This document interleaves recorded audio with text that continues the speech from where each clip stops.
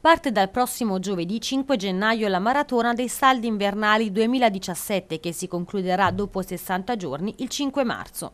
In provincia di Arezzo, stando ai dati della Confcommercio Aretina, sono 643 le imprese della moda interessate alle vendite di fine stagione per un totale di 979 punti vendita sparsi su tutto il territorio, dei quali 810 di abbigliamento e 169 di calzature e pelletteria. Secondo le previsioni della Confcommercio Aretina, almeno 3 famiglie su 5 in provincia potrebbero approfittare degli sconti che nella maggior parte dei negozi partiranno già con percentuali piuttosto alte, dal 30% in su. Per quanto riguarda l'importo medio di spesa, nelle ipotesi più rose dovrebbe riconfermarsi quello degli ultimi due inverni, attestato attorno alle 396 euro a famiglia, poco più di 170 euro a persona. Secondo le previsioni di Confesercenti, invece è prevista una spesa media a famiglia di 300 euro, in linea dunque con i dati dell'anno precedente.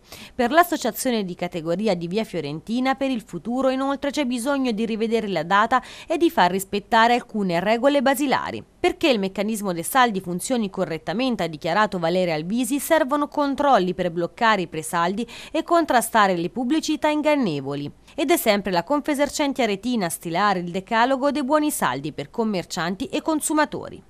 Attendere il periodo ufficiale dei saldi, evidenziare l'oscillazione dello sconto praticato, non esibire sconti generici riferiti poi soltanto ad alcuni articoli ed ancora separare in modo chiaro le merci offerte a prezzi in saldo da quelle poste in vendita alle condizioni normali, evidenziare la percentuale di sconto, accettare pagamenti con pago mancomat e carte di credito, rendere visibile l'interno del negozio, rendersi disponibile a sostituire la merce, effettuare riparazioni se richieste dal cliente ed infine usare la massima cortesia.